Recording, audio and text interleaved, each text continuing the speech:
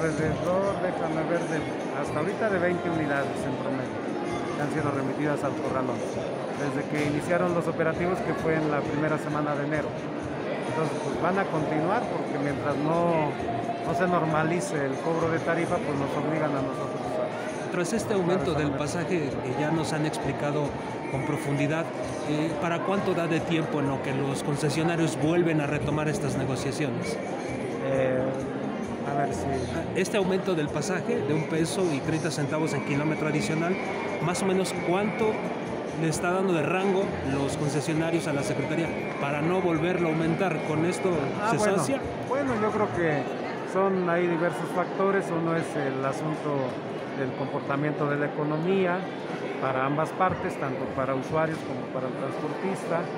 Este, creo que esto pues va a dar un respiro por un tiempo razonable.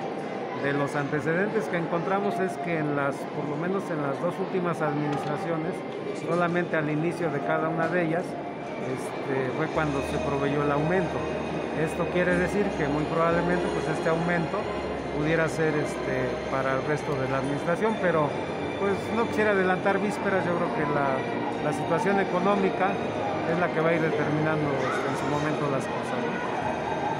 las cosas. ¿no? ¿Cuántas unidades?